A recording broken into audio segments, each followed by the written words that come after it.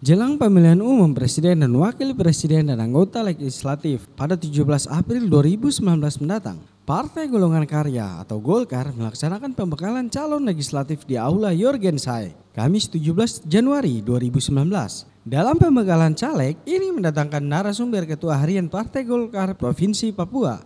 Tujuan pembekalan ini ialah Golkar mempunyai satu target kemenangan pada 17 April nanti khusus untuk DPRD, DPRP, dan DPR RI dengan target DPRD 8 kursi, DPRP 2 kursi, dan DPR RI 1 kursi untuk Dapil 7. Menurut Ketua DPD Golkar, kecurangan yang harus diantisipasi adalah DPT harus benar-benar valid. Petugas KPPS baik yang bertugas di distrik harus bekerja sesuai tupoksinya dan sesuai aturan serta jangan berpihak pada partai-partai tertentu. Selain itu, petugas KPPS harus lebih transparan dalam melaksanakan tanggung jawabnya sebagai pelaksana pemilu. Kabupaten Merauke melaksanakan pembekalan caleg di Kabupaten Merauke ini tujuan bahwa yang pertama kami harus mempu bersepakat mempunyai suatu target kemenangan untuk Partai Golkar di tanggal 17 nanti.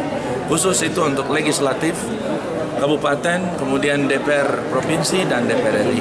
DPR uh, kabupaten itu kami punya target paling sedikit 8 kursi bisa lebih. Kemudian yang berikut untuk DPR provinsi minimal 2 kursi. DPR uh, eh, RI kami harap bisa dapat satu kursi untuk dapil tujuh. Kecurangan yang eh, perlu kami antisipasi adalah masalah yang yang yang pertama itu adalah masalah DPT harus benar-benar valid. Ya, yang pertama.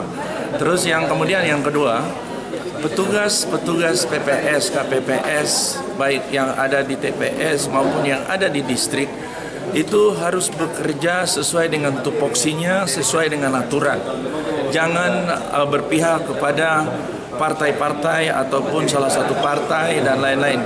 Harus lebih transparan dalam melaksanakan tanggung jawabnya sebagai uh, pelaksana pelaku pelaku pemilu pelaku pelaku pelaksana pelaksana pemilu. Dijelaskan, Partai Golkar selama ini telah mengantisipasi beberapa distrik yang jauh yaitu distrik Okamba, Tubang, Guti, Kimam, Wan, dan distrik Elikobel yang perlu dari pihak pelaksanaan pemilihan umum melakukan kesiapan.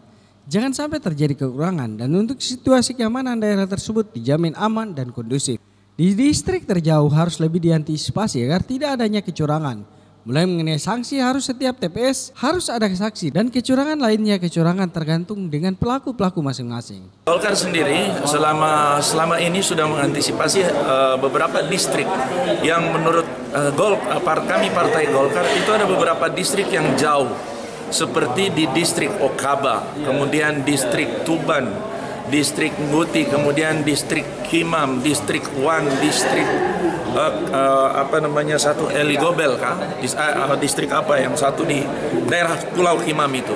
Nah ini perlu sekali dari pihak uh, pelaksana pelaku pelaksana pemilu yaitu KPU melakukan persiapan-persiapan untuk jangan sampai nanti kemudian terjadi kecurangan-kecurangan.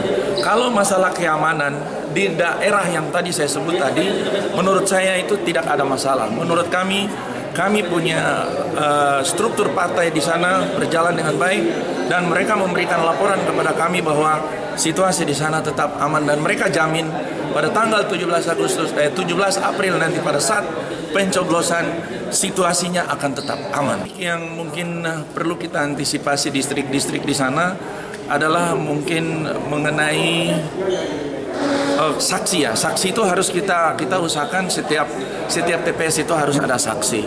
Kemudian kecurangan-kecurangan yang sangat sangat sangat sangat menonjol di sana menurut kami itu tinggal tergantung kembali kepada pelaku-pelakunya di sana.